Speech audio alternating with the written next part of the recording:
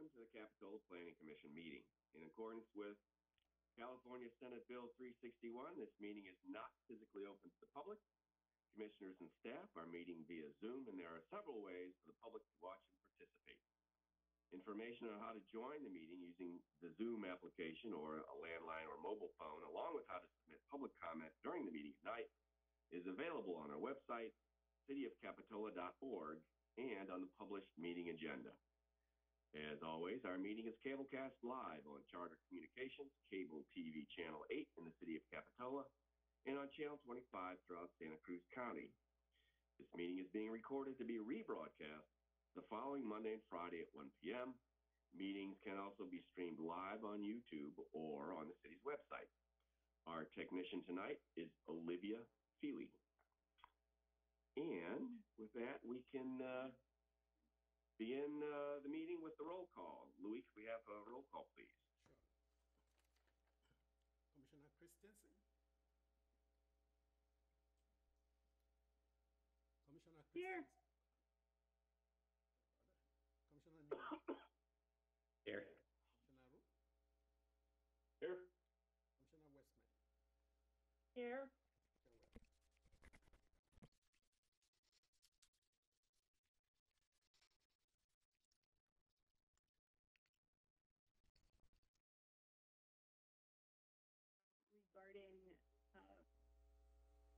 2015. Uh, can you, can you, I'm not sure how many, but we received additional public comment on the 1515 prospect application. Um, I don't believe we received any other additional public comment today, and anything else would have been received within 24 hours on other uh, projects. Um, so the fifteen fifteen, that's on the consent calendar. Should we, uh, uh, not pay attention to last minute comments until we need to? Or should we uh, distribute those? Because some comments came in at the very last minute. I'll ask the commissioners, have you all received the last minute comments that came in regarding that application? And Did you have time to review them? Yes, but we also got one on one oh six, Cliff. Okay. So we, we've also received a comment on one oh six. Thank you. So is there anybody who has not had a chance to re, to see or review those? Uh, hearing none, I'll consider those, uh, added to the agenda as attachments. And with that, we can move on to public comments. This is the time when, uh, members of the public can, can speak on items that are not on the agenda, short communications, three minutes or less. Uh, Katie, are there any, uh, anybody uh, on the Zoom or an email who wishes uh, to uh, join us with public comments on items not on the agenda. Checking the attendees now on Zoom, and I do not have any hands raised on Zoom. Now checking our email public comments. Not have any new email public comments. Very good. Then let's move on to commission comments. Are there any commissioners who wish to speak on items which are not on the agenda? Um, if no one else does, I do. I have, uh, I'd like to speak a little bit in general about the process.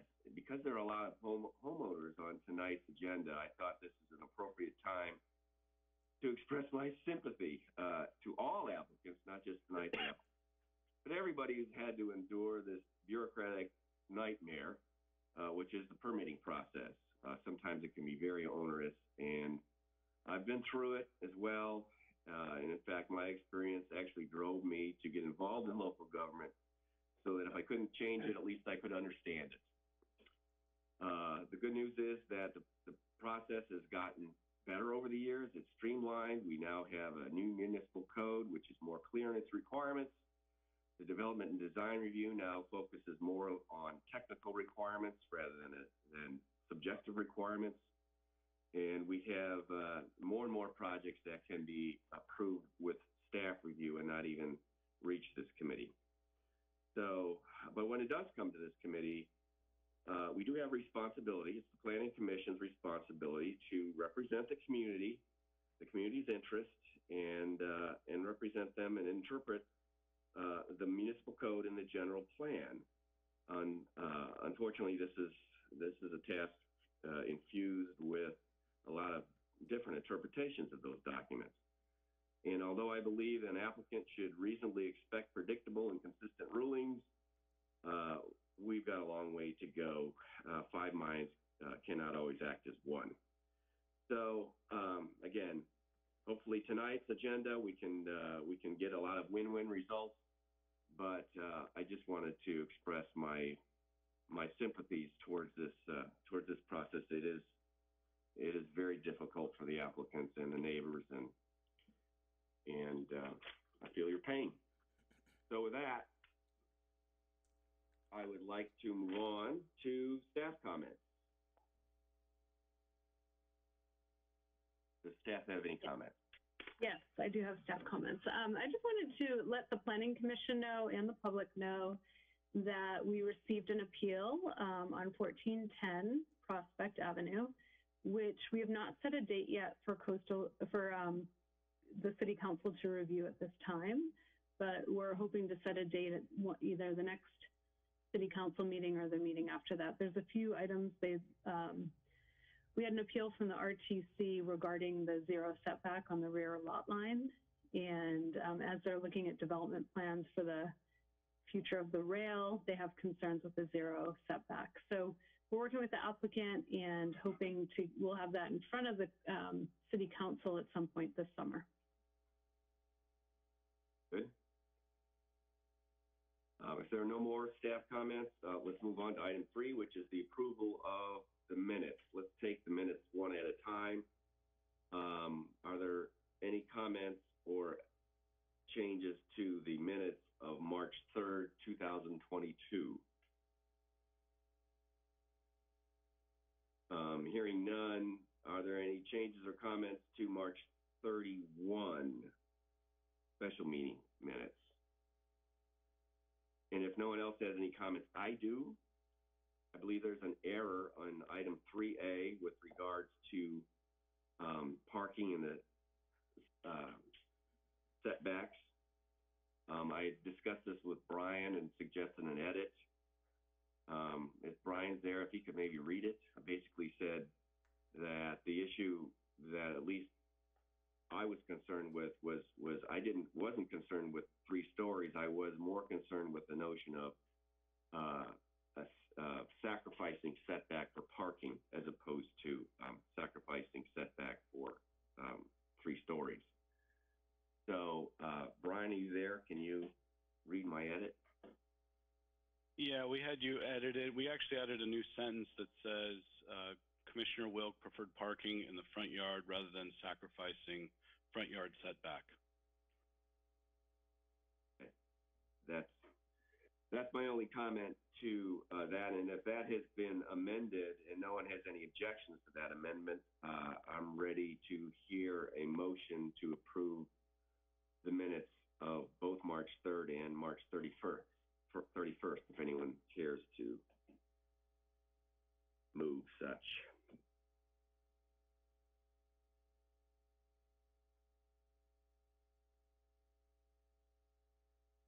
Anybody interested in approving the minutes, commissioners?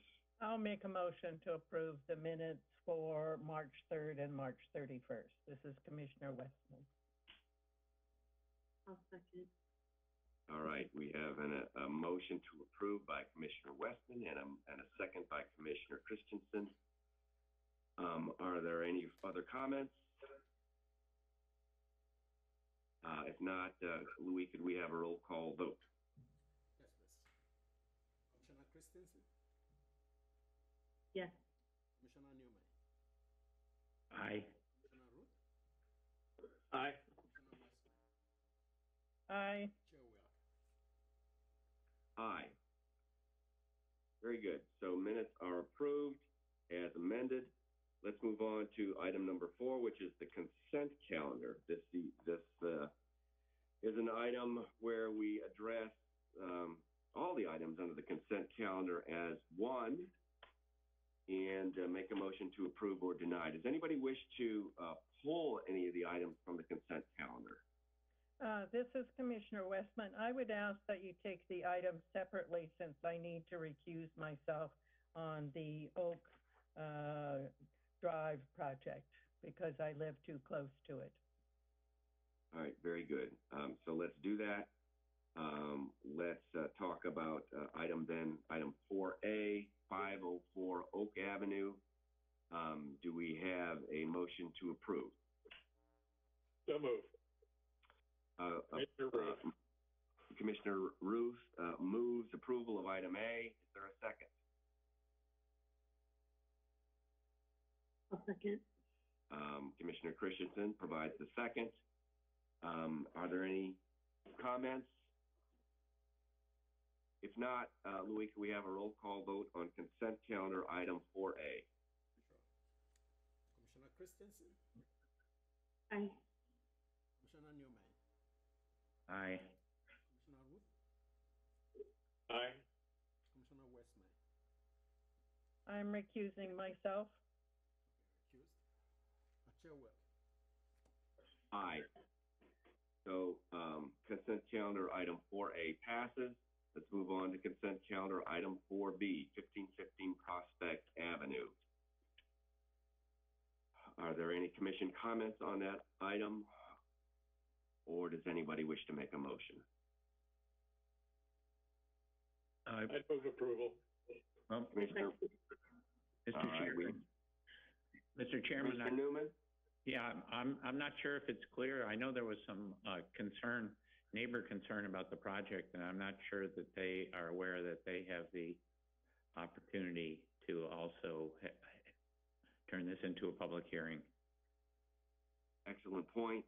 Um, let's, let's bring that out to public comment then. Katie, uh, can you reach out to the public and ask, is there anybody who wishes to bring item, consent item four B, uh, into the public hearing? Yes, um, so we've brought up on our screen how to participate, and if any member of the public would like this item pulled off of consent agenda for public discussion, um, now would be the time to raise your hand in Zoom. You can dial star nine to raise your hand, um, or else if you're in the app, you have the ability to raise your hand. I'm going to go and look at our, I'm not seeing, I'm going to check our public comment under email.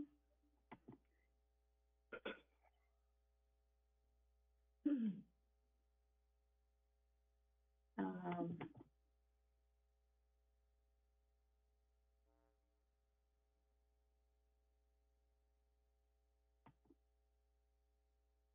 so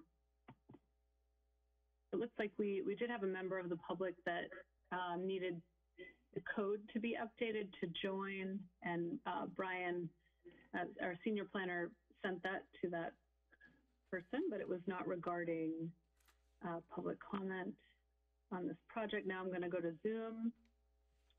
And I do not see any attendees with their hands up either. So there's no request to pull this off of the consent agenda. In that case, I will move approval. There's, a- there's already a motion on the floor, Ed. We just need I'll a second. second it. And I'll We second. already have a second, so we have a motion by Commissioner Rubin. Well, then I'll vote second by for it. Commissioner Christen- Christensen. Can we have a roll call vote, Louis? Sure. Commissioner Christensen, Aye. Commissioner Newman, Aye. Commissioner Ruth, Aye. Commissioner Westman, Aye. Aye. Uh, It passes unanimously. So we have, uh, we can move on from the consent calendar now to public hearings. This is an opportunity for the public to discuss each item individually. We'll have a staff presentation followed by questions from the commission, followed by public comment, then finally deliberation and decision. First up on public hearings is item 5A, 519 Monterey Avenue. Do we have a presentation? Uh, thank you, Chair Wilk. I'll be giving the presentation. Pull up my screen here. So proposal uh, 519 Monterey Avenue, this is uh, a, a design permit proposal for a first and second floor addi- addition of 140 square feet. Uh, there are front and rear facing upper decks, and there's a proposed new fence and gate in the front yard.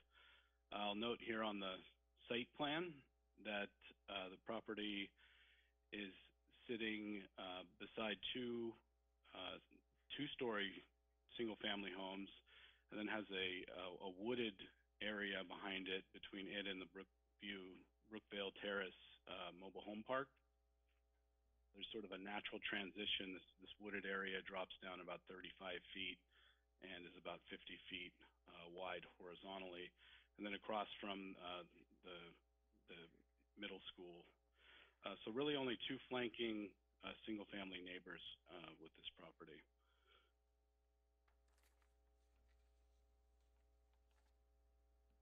So I had to, uh, apologies for, for flipping the site plan sideways, just the aspect ratio, I had to do it. So I'm gonna go left to right and just introduce the, the project. What you have is the driveway there adjacent to Monterey. The tan highlighting is the first floor and the green is the second floor. I'll call attention to the, on the right side of the green, there's a little pop out on the first floor. That's a bathroom, uh, that was added on. Looks like after the original home was built. Uh, part of the proposal here is to rebuild that bathroom in location and then to add a, a two bathrooms that are accessed off of uh, the second floor above. And then wrapping around that is a proposed upper floor deck at the rear, uh, taking access from the two adjacent bedrooms. And then off the front, an 88 square foot deck that takes access from another bedroom facing the front. Uh, and this is set into uh, what is now the, the attic of the garage and the roof framing and ridge of the, the garage roof.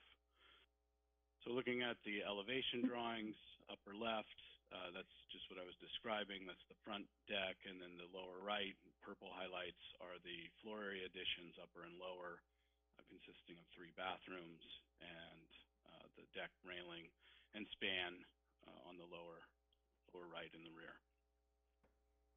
Um, we did uh, give some feedback to the applicant during the plan review process, primarily about privacy and mitigation measures. Uh, they did bring bring back some modifications to the plan, uh, and these elevations show they're they're proposing partitions along the side, uh, which would would offer some privacy mitigation to the side yard neighbors that I pointed out. Uh, and the form here is the bottom 42 inches, which is required railing, would be a little uh, half wall or parapet wall wrapped in a, a similar cladding as the uh, as the primary dwelling, and then the upper 30 inches would either be an either or of uh, terrace, uh, sorry, an uh, like opaque window or a trellis cap. So these are uh, mitigation. I'll also point out the the projection here is uh, 12 feet from the face of the building. Second layer of mitigation that they're proposing is, is landscape screening. And this is a, a cutaway of the site plan for the rear yard, so the deck in plan view. Uh, the two highlights flanking either side in the green, those are rectangles that measure five feet by 20. Uh, and the, the idea here is to propose 10 foot tall at installation. Those would likely be 24 inch box uh, bay laurel screening, which is a, a pretty common evergreen shrub or uh, hedge type plant that is used uh, for this purpose. So two layers of mitigation proposed. Uh, the one difference uh, with our recommendation from staff tonight is we're, we're adding a third layer of mitigation here, and that is to bring the deck back to a max projection of seven feet. And uh, primary reason for that is uh, just in review of uh, the design review criteria, I highlighted uh, F with privacy. Um, I think that's the primary reason for this recommendation. And what it does, I'm going to take the pointer here, is it, it brings this flush with the bathrooms, uh, so it further enhancing the, the mitigation on all sides of these decks, but still does allow for uh, a reasonable amount of area for enjoyment for the, the applicant. For a bit of context, we've got some just site photos. We did do a site visit and met with the architect. Uh, we also received one email um, from 601 Monterey. Uh, the, the conclusion of that email was recommending the staff, uh, seven-foot condition, uh, but otherwise supporting the project. And then, uh, at 515 Monterey, we received a letter of full support for the project. And the lower two photos are just looking out over the wooded area on the left and, uh, a profile view of the rear of the residence on the right. So with that, just highlighting some of the conditions, uh, upper floor decks, um, we've been requiring a code minimum amount of lighting and having it be compliant with, uh, dark sky and be shielded to prevent light trespass. And then we're recommending condition thirteen, which is to reduce, uh, the deck projection to seven feet. Uh, I would just like to offer that the applicant was very cooperative and very receptive to uh, these mitigations, and uh, so to their credit, but they, they did want to be heard uh, with the proposed 12-foot projection as originally presented. So I believe they have a short presentation, but that's the conclusion of mine, and I'd be happy to take questions. Are there any questions of staff? No. Commissioner Westman? No? Well, I have a question. Uh, uh, this is C- uh, Chair Wilk. I, I, could you please reiterate why you, uh, the staff felt that the privacy mitigations that were presented were inadequate? Yeah, I, I, I- think it, there's another layer of this too. Uh, I kind of touched on it, but um, the design review criteria, I'm going to go back in my show here, uh, talk about massing and scale, uh, and this is actually proud of, of the building and creates a new building line, so there's a bit of a design element. Um, that on top of the functionality of a, a larger deck is going to be um, accommodate longer activity, uh, which could present more noise and uh, a, a bigger impact to the neighboring property. So I think the two design criteria F and H are primary reasons. Thank you. Any other questions of staff? Okay, um, let's see, what do I do next? I'm out of, I'm out of, uh, control here. We're ready for public comment? Does the, um, the applicant wish to make a statement? I have two hands up in Zoom. Um, Brian, I apologize. I don't know the applicant's last name. Is it Marsikowski? I believe so, yeah. Okay, so George Marsikowski is available. Mr. Marcinkowski, go ahead. I believe I need Sean possibly to unmute.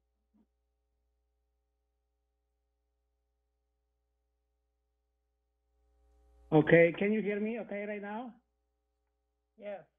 Okay, so, so this is George Marcinkowski. I'd like to thank you for uh, actually supporting uh, the seven feet and, and, and hopefully we will move to the next step. The idea behind the 12 was that both of those bedrooms facing uh, that direction are designed for kids. So the idea behind was so they can just, you know, go from left to right and right to right. This is not for any any party. I mean, those bedrooms are pretty small, and and that's that's that's you know that's that's uh, my explanation of what I was trying to achieve. But I am very happy with whatever was uh, um, you know um, pre- presented right now, and I'd like to thank you for everybody, and hopefully we'll go to the next stage. Thank you very much. Thank you, Mr. Marcinkowski. Are there any other public comments?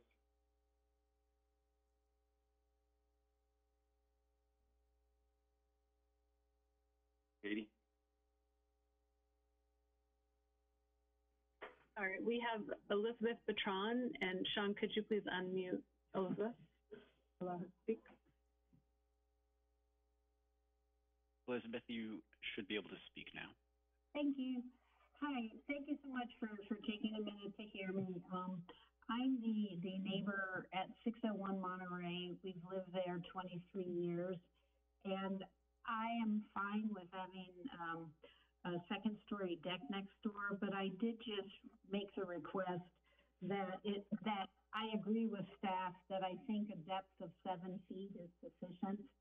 Um, And so I'm simply asking to, to do that because I feel that's more in keeping in context with the existing community neighborhood and the sound levels. I, I'll tell you quite honestly, I'm here at my daughter's house in Denver and, and their Airbnb rules are such that, you know, folks can, she has an Airbnb next door, and when you, you're sleeping with the windows open, which is one of the nice things to be able to do in your house every night, um, if people are out on the porch until, as they were last week, three thirty in the morning talking, the, just having a porch that's a smaller size would indicate that, that it would stay a quieter space. And I, and I do know that the city has recommended the seven-foot depth in other instances. And I'm just hoping that you'll consider it again in that, in this one. And that's it. Thanks so much. Thank you, Mrs. uh, Bertrand. Um, any other comments? Yes, we have comments from, uh, architect John Hoffaker. Sean, if you can allow him to speak.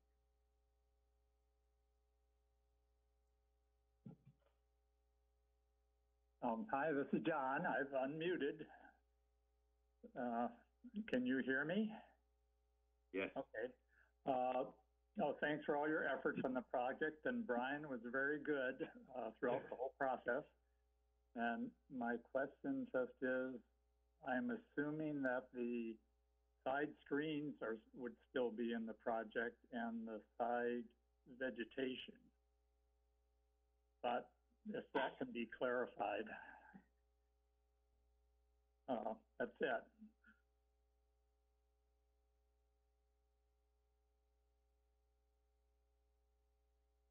So, um, I think that's really a question of staff. So they've done, um, mitigation attempts, uh, namely the vegetation and side screens, which were deemed inadequate. And so as a result, staff recommended, uh, moving it back to seven feet. Does that mean, uh, that the, uh, requirements for the side screens and vegetation, uh, are still in the, um, requirements for, or conditions for approval? Or, um, is he allowed to change his drawings to remove those if he gets the seven-foot setback? Or the seven-foot porch?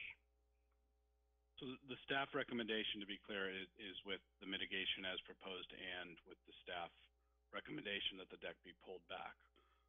So if the commission wants to, uh, entertain alterations, uh, that, that's your purview, but our, our recommendation is with mitigation as presented. Thank you. Any other, um, comments from the public?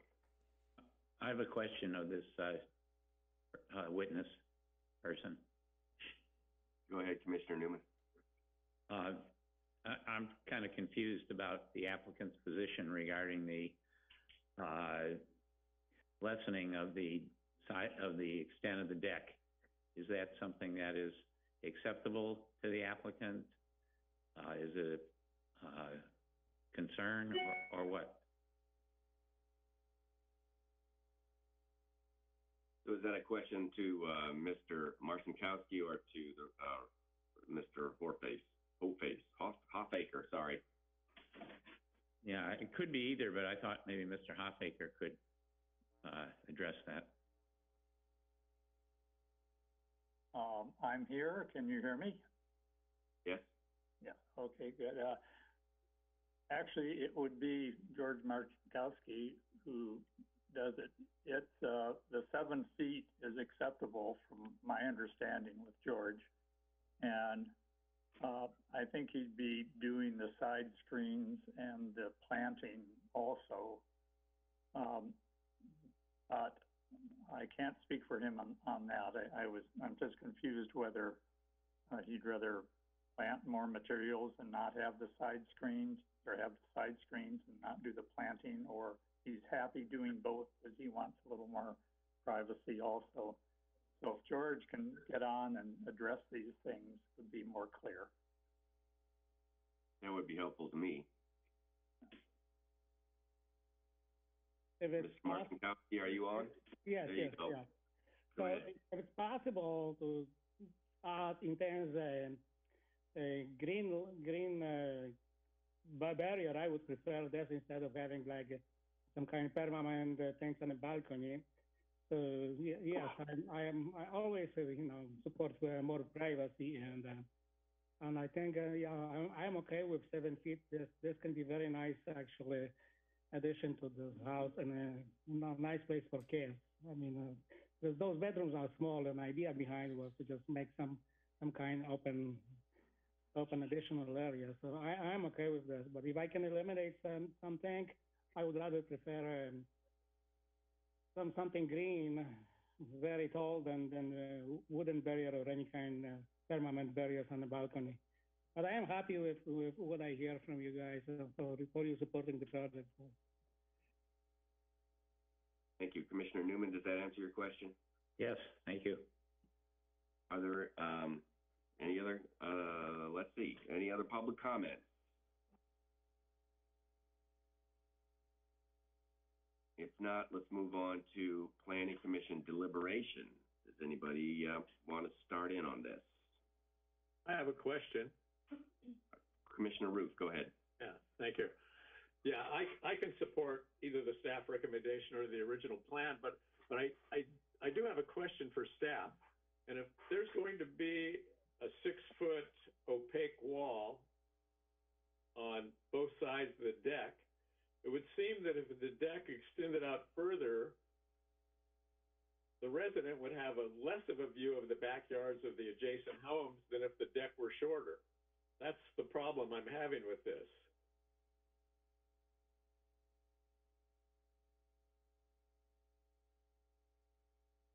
Ryan, can you address that? Yeah, I'm just not sure Yeah. how you arrived at the fact that by shortening the deck, it affords more privacy. It gives you a bigger view into the adjoining yards that way.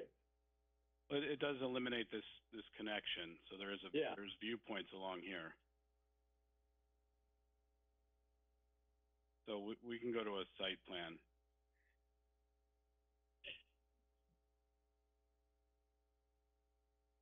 So if the wall was shortened to here, this is, this is the staff recommendation is, is seven feet is here. So the question is, or the point is, this is more screening to extend it out? No. I, I'm assuming there's going to be some sort of opaque feature wall six foot high, not the lattice work, because you mentioned also the opaque glass uh, on each side of the deck. And if that's the case, if you extend the deck out further, there's less of an angle to look into the backyards of the adjacent homes. With a shorter jet deck, you can see more of the backyard of the adjacent homes, which is actually less privacy. Basically, you're Yeah. putting blinders on the horse. Yeah, I- Exactly.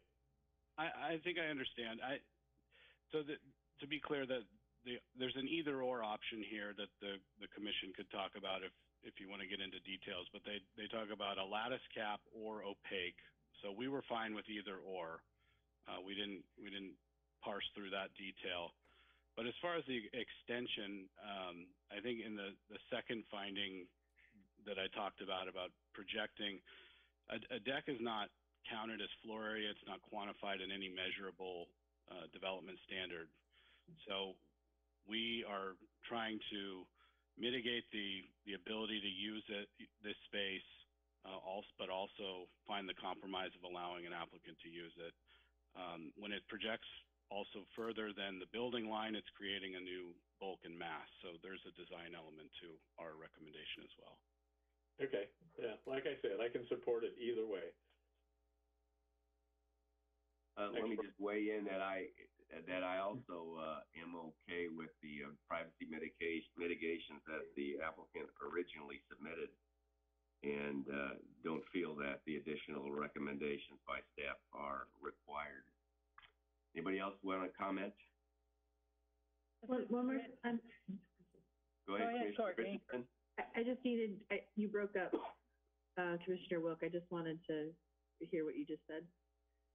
Oh, I'm Could you sorry, I repeat? just said that the original, uh, submittal by the applicant, which with the, which, uh, with the larger deck, Mhm. uh, but with the privacy mitigations that he proposed, namely the, the green vegetation as well as the side barriers, um, are, Yeah. are okay as far as I'm concerned. Right. And Just that that's- staff's recommendation doesn't need to be, uh, you know, Yeah, addition to that. hundred percent, I gotcha. Thank you for repeating yourself. Well, I, I All right, agree I with see- that. I see Commissioner Westman's hand up. Okay, Hey, I'm uh, sorry. Uh, I don't have any particular project, uh, problems with the project. I think they've done a nice job with it. I do agree with staff, uh, to accommodate, um, people in the neighborhood that having the seven-foot deck is more appropriate.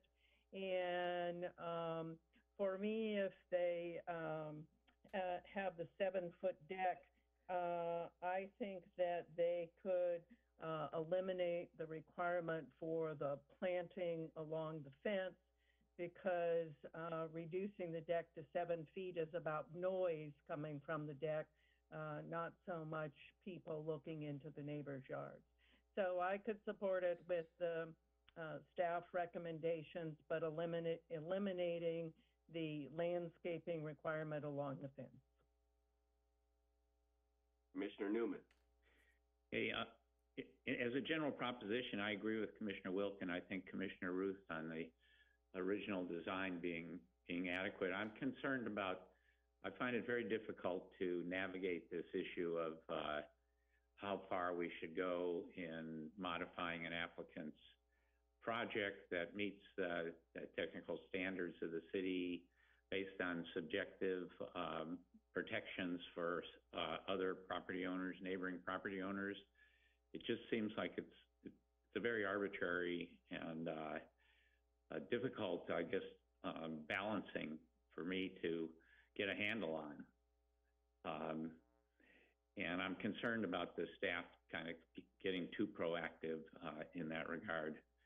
Uh, taking one side or the other, um, on these issues of how much, I- mean, the, the concern of the one neighbor wa- was regarding short-term rentals, which I don't think that's, uh, a, a concern. Uh, This isn't in the short-term rental district, is it? So, No. So she was concerned about, uh, people uh, partying at three AM. And, um, you know, I, I don't know how applicable that is. So I, I'm fine, since the applicant doesn't seem to be screaming about the change, uh, I don't see any reason why we shouldn't just go forward with this application, but I, I do want to support the comment of Commissioner Wilk that we, uh, should be careful about, uh, how much we restrict otherwise valid applications. Um, any other comments? Commissioner Christensen? I completely agree with your comments, Commissioner Wilk and Commissioner Newman. That, um, I, I think that there's nothing limiting him from having the twelve foot deck and, I mean, him being so kind to take the suggestions is wonderful, but, um, it's not up to us to design his deck. And I, and I agree with the, basically everything Commissioner Newman just said. Would you like to make a motion? I'm, I would make a motion to, um, approve. I, I mean, I don't have any original design. I, I, would kind of, in my mind, I would, I would want to give him the opportunity to have the twelve foot deck. Um, is that, I mean, but that's not what staff is suggesting at this point, is it? Is that, Not what staff is suggesting, but you can certainly move to, um, uh, move to approve the, um, application as originally submitted. I'd like to do that. Could I, could I move to approve, um, the application as ri- originally submitted with the twelve foot deck and the landscaping screening? I would like Brian, to is that add, clear? I would like to add a condition to the approval, and that would be that on both sides of the deck, the six-foot wall be made of opaque material and not lattice. Yes, lattice is like, Are you willing to accept that amendment, uh, Commissioner Christensen? yes, yes. Okay, and is that then therefore a second, Commissioner Routh? Yes, I'll second. Okay, we have a Um, proposal by Commissioner Christensen and a second by, uh, Commissioner Routh. Uh, is it clear what, uh, what we're moving, uh, Brian? Yes, that would strike condition thirteen, uh, and it would add a n- new condition to clarify that the cap on the wall be opaque and not the lattice option. Thank you. Is there any further discussion on this motion? If not, let's take a vote. Louis, can we have a roll call vote, please? Yes, please. Commissioner Christensen, Aye. Commissioner Newman, Aye. Commissioner Routh, Aye. Commissioner Westman, No, Chair Wilk. Aye. Um, application passes four to one. Um, good luck, Mr. Marcinkowski. And we are ready to move on to item five B, which is one oh six Cliff Avenue. Do we have a staff report?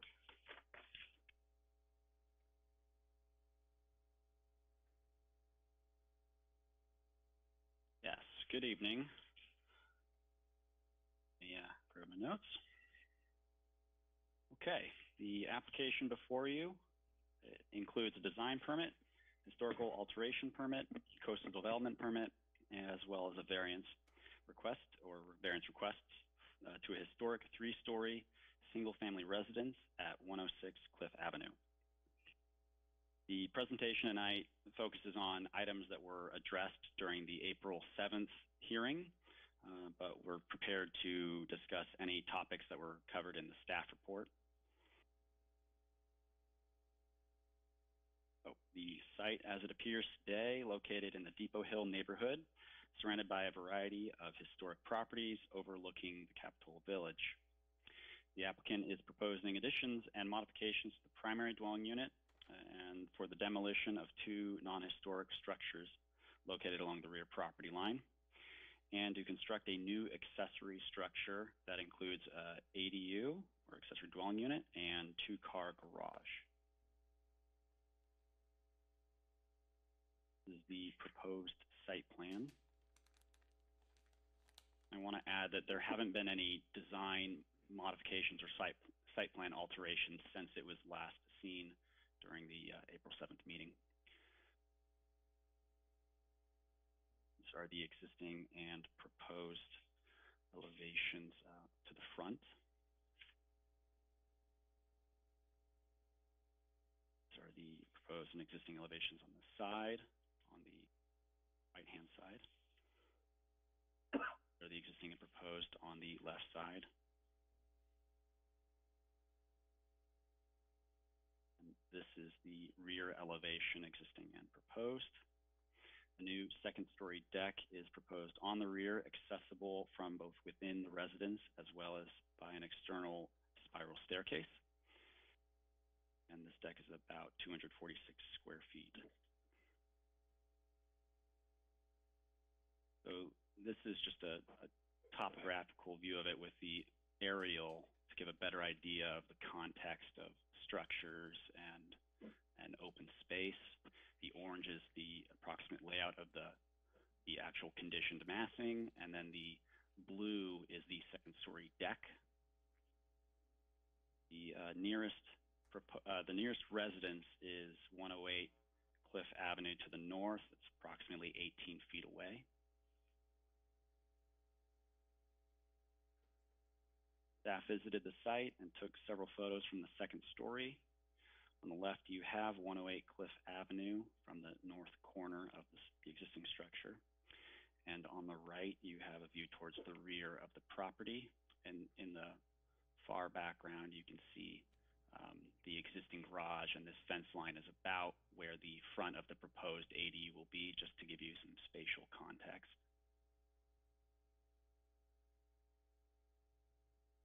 This is the proposed uh, com combination ADU and garage.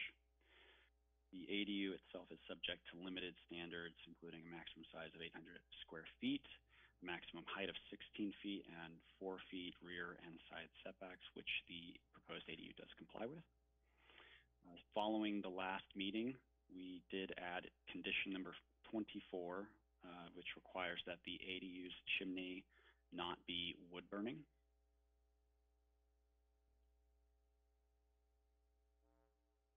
And just because we did have some uh, public comments regarding uh, the chimney itself, as well as its proximity to the, the redwood tree, we just gave a, a bit of a, a view for perspective of where that chimney is in relationship to it.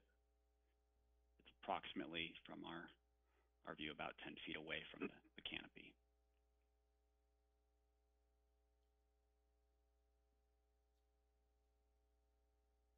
So the, the applicant is requesting uh, a number of variances, uh, including for the height limitations of second-story additions, for height limitations of the proposed primary structure's trim, uh, new chimney, and for the floor area calculation methodology uh, to the portions of the first two rooms of the third story.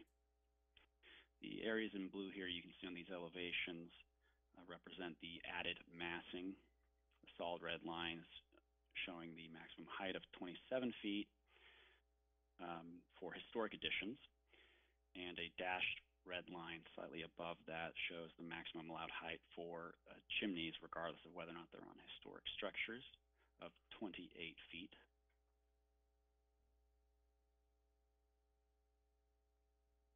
The structure itself is historic and protected within Capitola Zoning Code and under the California Environmental Quality Act. The primary structure is on a sloped lot with a steep existing with steep existing roofs, which impose difficulties in designing compatible additions that comply both with um, historic standards uh, for you know additions and modifications, as well as the city's height limitations. Starred properties shown above um, indicate uh, which properties exceed the maximum allowable height 114 Grand uh, is the property that is slightly brighter than the other stars. That indicates a property that also has a ch- an existing chimney that exceeds the maximum allowable height.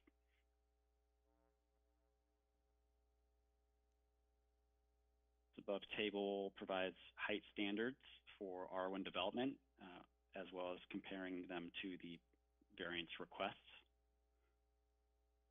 If you want me, I can read that for you. Looks like everyone can.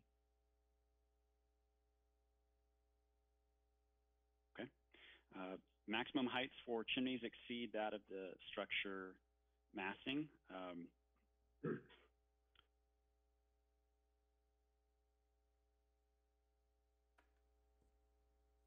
and on this slide, we have uh, the two uh, forward rooms on the third story. The existing structure includes a unique third story with three spaces of varying ceiling heights. The entire turret space and a portion of the central space currently exceed four feet in height and therefore count towards the floor area ratio calculation. In order to gain additional floor area, the applicant is requesting a variance to exempt the turret and central space from the floor area calculation. The rearmost room, which is not pictured, is directly accessible via a staircase and would continue to count as floor area.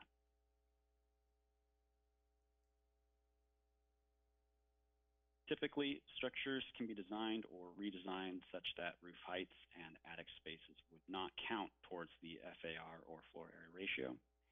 In this instance, the turret and forward gable roof are prominent and historically significant features which would need to be altered in order to exempt these spaces from the calculation. The structure is similarly constrained against raising the ceiling heights to increase habitable function. A variance specific to the floor area of the forward two spaces would offset approximately 165 square feet and allow the property to be developed in a manner consistent with other properties in the vicinity. Therefore, staff has uh, supported this request.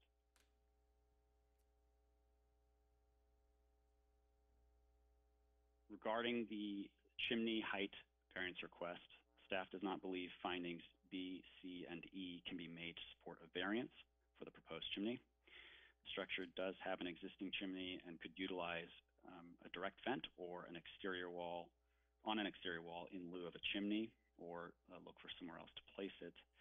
one fourteen Grand Avenue, which has a chimney, uh, measures only approximately thirty feet from grade as compared to the forty-one feet of this proposed chimney.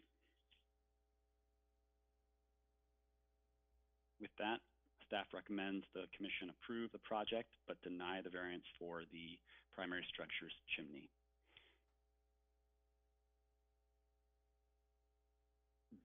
And I am available for any questions. Do any of the commissioners have any questions of staff at this time? Yes, I do. Commissioner Westman, excuse me, Commissioner Newman. Um, my question is, was this the Reading residence previously? Yes. No, Okay, it was the Fonts residence. Oh, Fonts, I'm sorry. oh, this was? Yeah, This Wade was the Fonts, Wade and house. Okay, that- I wasn't sure about that. That's, the- then my con, I will, uh, hold my comment. Thank you. Any other questions of staff? I have a question of staff. Um, Sean, uh, you know, I was able to talk, um, and answer a lot of my questions, uh, prior to this meeting because there was a lot of things that were confusing to me and, and, uh, staff was excellent in clearing, clearing my questions and, and giving me square head on, or a clear head on what this is all about and what makes sense and what doesn't. So I appreciate the time spent getting my head straight. But I, but I, I still have a problem with your, uh, with your chimney and the rationale for it being a special privilege. So if the, if the notion of the, the turret, so this question for you, Sean. So you're saying that the turret and the area around the turret is a is worthy of a variance because basically this is a historical structure and they're if they're going to keep keep it historical and make it look the same they're basically stuck with that uh, with that uh, location or with that turret and that space and so there's nothing they can do about it so basically uh, we're giving them a break on what is a decorative function that they can't change. And so, you know, so be it. Let's not count that against the square footage.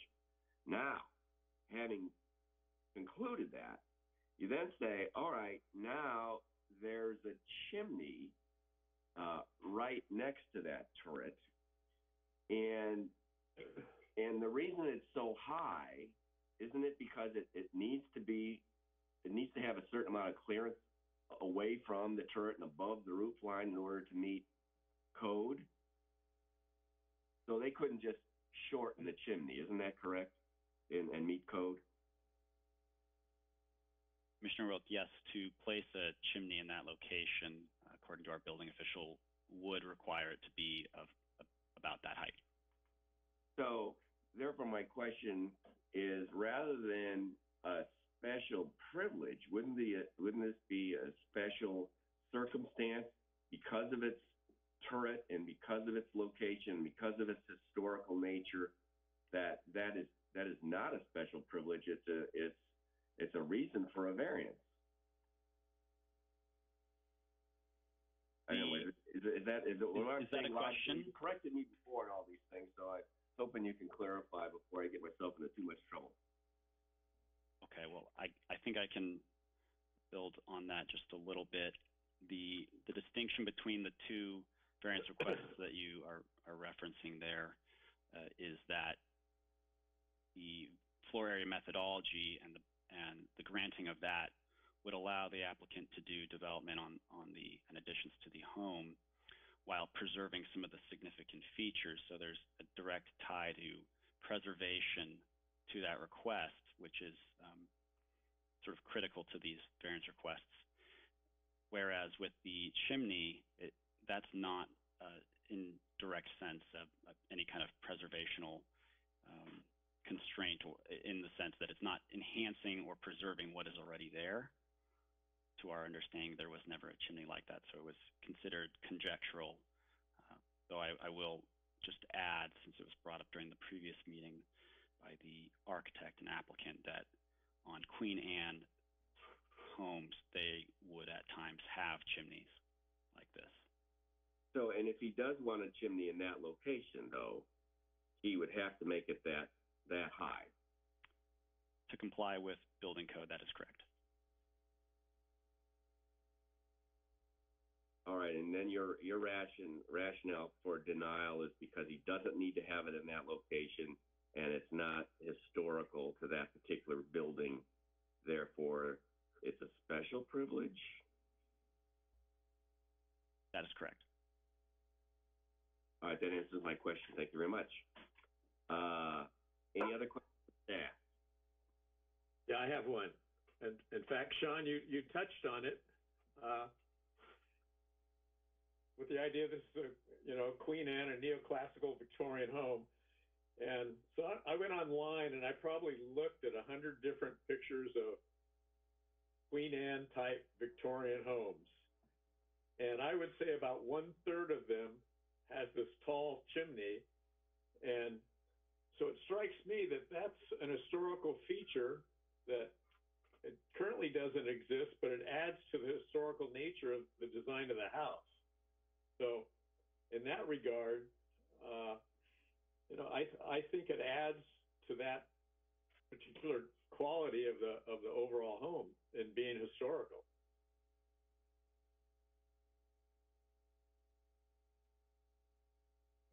So I, I will jump in here. Um, I think once we, um, go through a public hearing and open that discussion, if there's more questions, the, the planning commission definitely has the ability to amend our findings and change the recommendation there. So, or, um, to make different findings for the variance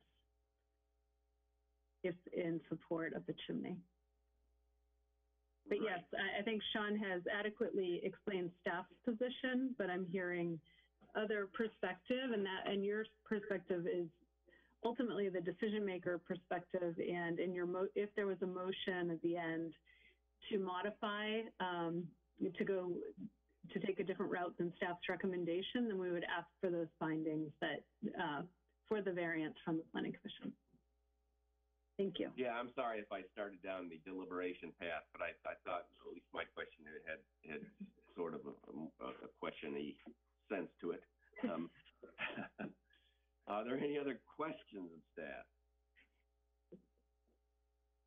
Okay, if not, then we can move on to public comments. Uh, Katie, do we have public comment?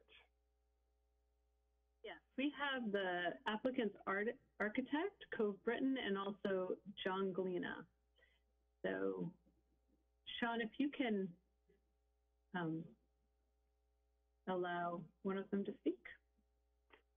I have uh, given that permission to the architect. I believe he's available. This is Cove Britton here, Matson Britton Arch- Architects representing Sam Abbey. Uh, I'm not going to speak a lot. Um, I support the staff report, uh, except we part ways regarding the chimney. Um, in regards to special privilege, as noted, just down the street, there is a chimney that exceeds the maximum height limit. Uh, so it's not a special privilege for our chimney to exceed the height limit. Um, it's just a question that this one has to be higher than the one that's down the street. So it's not a special privilege. It's just a degree of that the height has to be taller on this one due to the existing height of the existing structure. Other than that, I'm available for questions. Thank you. Thank you, Mr. Britton. Um, anyone else? Next, we have John Galena. Mr. Galena?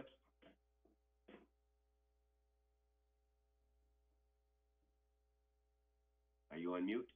Hello? There you go. We can hear you. Okay. Well, I don't know. I sent a, a, a letter to the commission. I don't know if everybody got to read it. Um, you know, I, have some concerns. I live right behind uh, the property.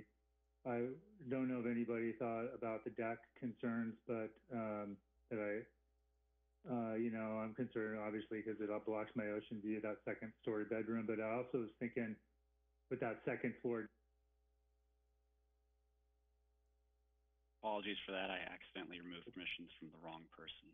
Oh, there, there's a, there- I, I I would like to see that the deck and the bedroom be flip-flopped on the, on the second floor. And another reason, I listed my reasons in my letter, but also the, there's a driveway that runs, you know, along the south side that would be a buffer, uh, for the neighbors because the, the current deck, where the deck is now on the north side is gonna be, there's no buffer, there's just right, it's a large deck, it could be used for entertaining and making, you know, a lot of noise for the neighbors, and that one is, you know, right next to the next door neighbor, where on the other side is a driveway that would buffer it. And the deck, I would be happier if the deck was on that side of the house, on the south side of the house instead of on the north side of the house. And there was also other benefits that I listed before, like it's under the tree, it's cold and dark and damp because it's in the shade of the structure and the tree, where the other side would be a more pleasant deck for the owners. And they, they may have an ocean view themselves from that deck. Uh, so I was hoping, you know, that, that the second floor decks has been an issue. And like I said, that the buffer from the driveway may make that deck have, be more private, a better privacy protection for the neighbors. And we're also concerned about the size of the structure. I mean, I know that they're, the staff's approving the variance, but I mean, when you buy a house and you know that there's square footage and you buy a historic structure, you know that there's gonna be square footage issues and, uh, it, I don't know that I kind of disagree with giving the uh, variance for the square footage. Cause the structure is already large, very large, and, uh, you know, be, uh, uh, probably excessively large with that, uh, variance approval. Uh, did you want to say something? Okay. That's, that's all I have to say, thank you. Thank you, Mr. Galena. Katie or uh, Shauna, is there anybody else? There is no one else with their hand raised on Zoom. Um, I'm gonna check public comment email, and there are no new emails in public comment. Okay, we've heard from the public. Let's move then to, uh, planning commission deliberation. Um, does anybody, uh, any commissioner want to start out on this one? I'll start if you want. Go Commissioner ahead, West. Commissioner Westman. Um, well, I think that the architect has done an exceptionally nice job on this project. I think that preserving this type of historical home in Capitola is, uh, extremely important. And, uh, for me, I have no problem granting them the variance for the height for the second story addition or for the floor area calculations. Um, I'm even leaning toward saying that we should grant them the variance for the chimney because when you look at the drawings and the house itself, uh, the, the chimney does fit in with the style of the house and, um, the work they're doing to preserve this historic structure.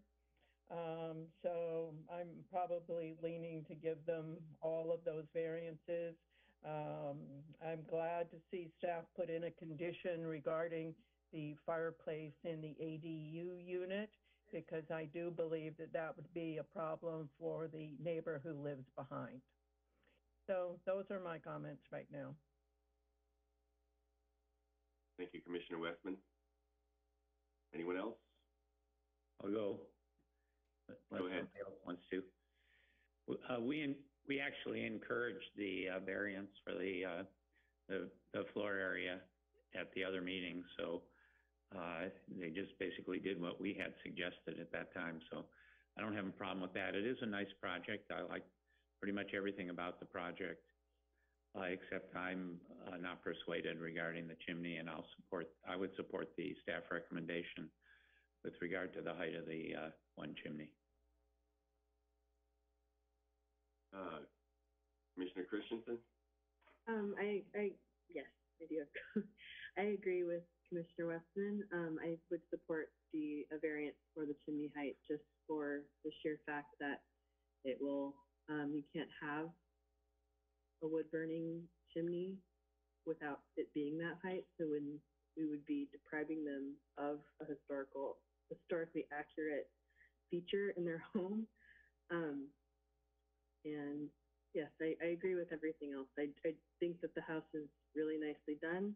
I like what they've done with the porch and that they've made con, you know, considerations for the neighbors with the ADU in the rear. So I support all the variances that staff has listed with addition, with the addition of the chimney variance for the height. All right, let me, let me also chime in that, oh, sorry, Commissioner Routh, did you want to, did you? Yeah, I would just, I would concur with Commissioner Westman and Commissioner Christensen. I think the chimney deserves the variance because I believe it's an important historical feature, just like the turret is. All right, and, and let me, let me agree with, uh, excuse me, that sentiment. Let me just, um, uh, um, be sympathetic a little bit to Mr. Galena, the neighbor.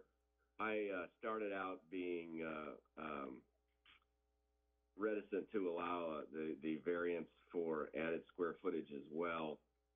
Um, but as Commissioner Newman pointed out, we, we've kind of, you know, encouraged the, the variance for the, uh, the turret. And so once you take that out, then the square footage is within the requirements. So there's no variance needed for the square footage once, uh, once we give them, once we, once we admit that the turret area is, is, is something that we insist on.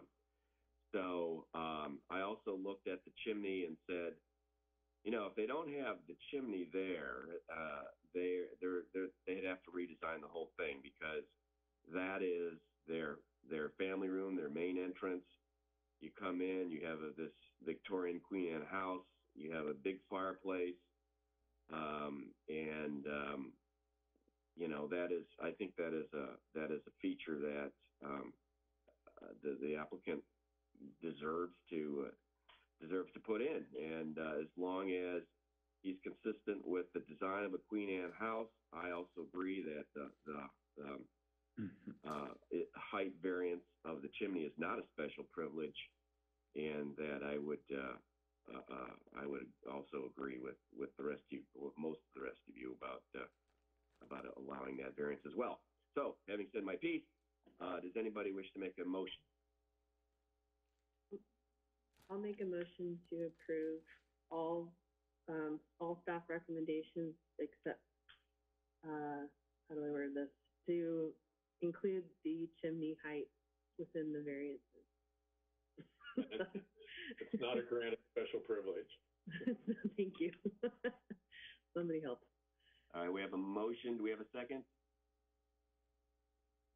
I'll second. We have a, uh, a motion from Commissioner Christensen and a second from Commissioner Routh. Any further discussion?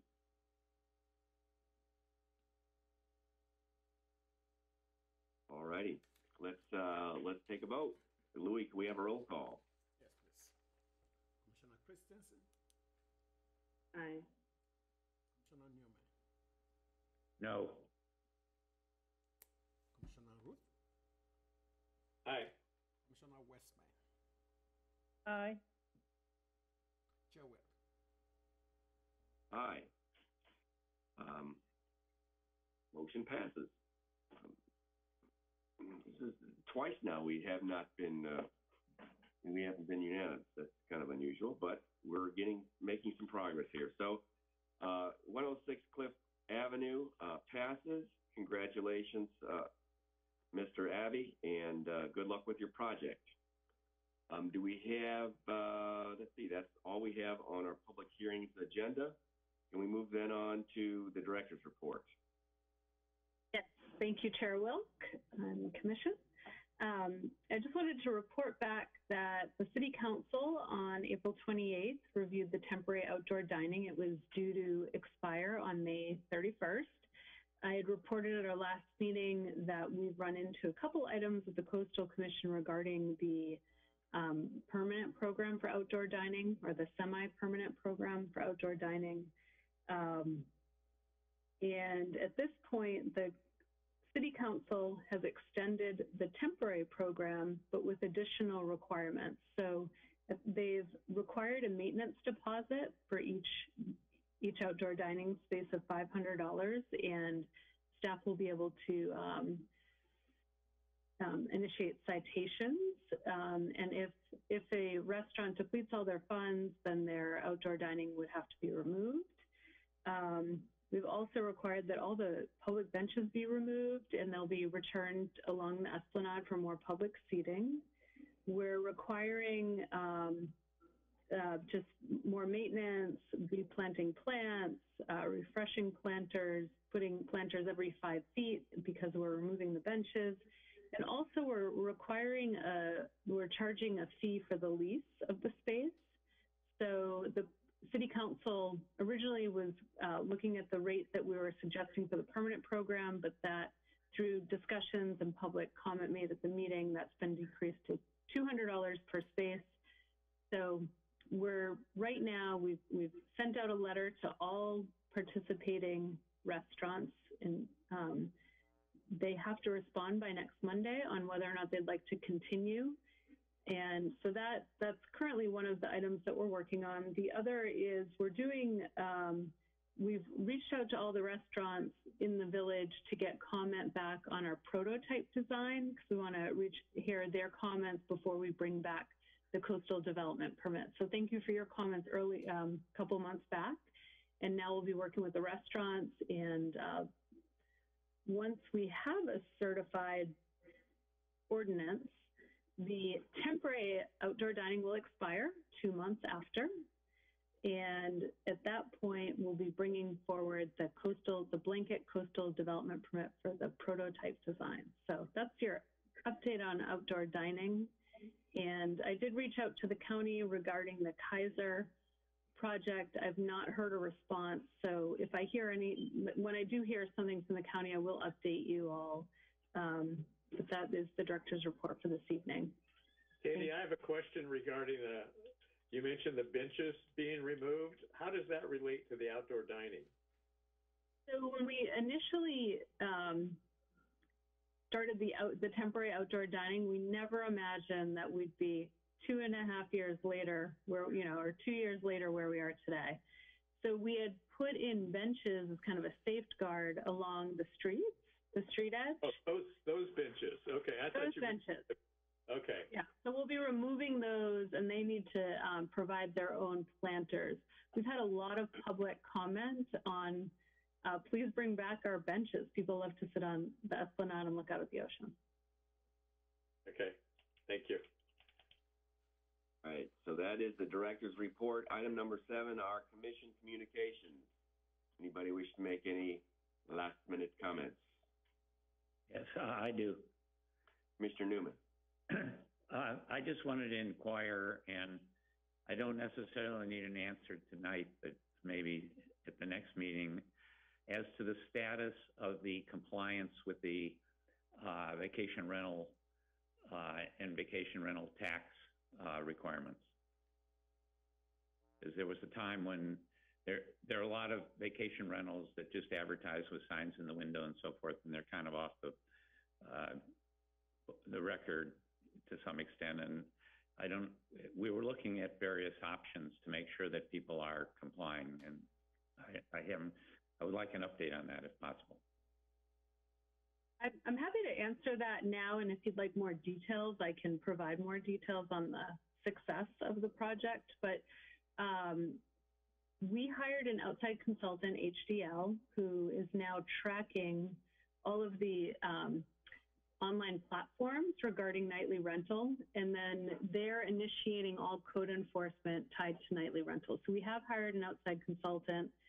Um, as they're observing if any illegal nightly rentals, they're supposed to be sending out compliance letters and uh, bringing people into compliance. This only began, I want to say, uh, Sean actually has been very involved in this effort. And Sean, I believe that the actual initiation of this platform through HDL tracking, it was initiated just in 2022, so it's relatively new. And um, but I'd be happy to check in. Actually, finance is managing the overall system, and if you'd like, we can bring you back some statistics.